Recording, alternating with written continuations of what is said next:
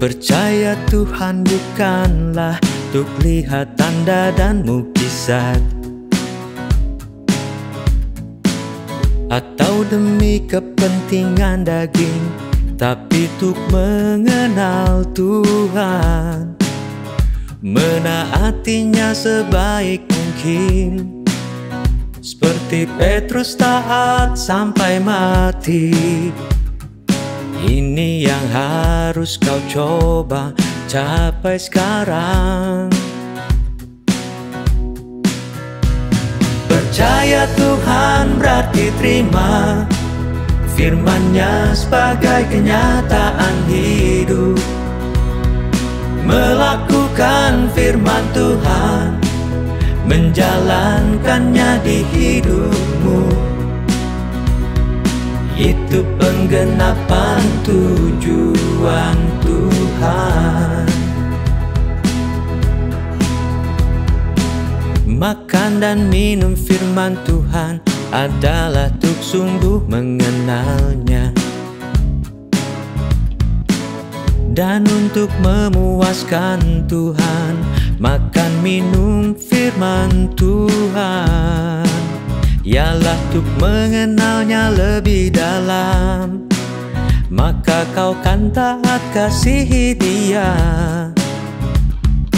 Inilah tujuan percaya Tuhan.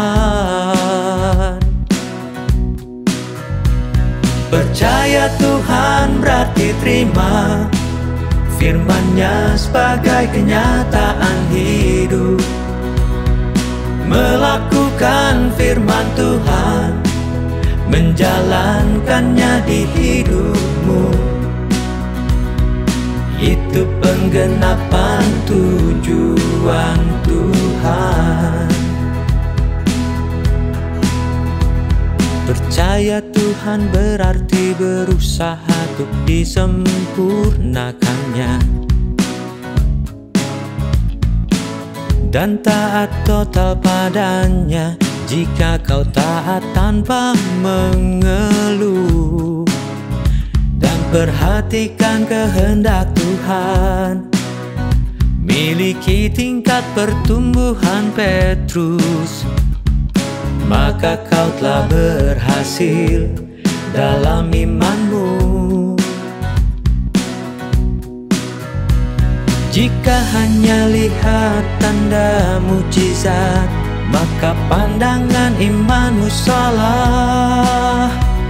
Percaya Tuhan berarti terima Firmannya sebagai kenyataan hidup. Melakukan firman Tuhan Menjalankannya di hidupmu. Itu penggenapan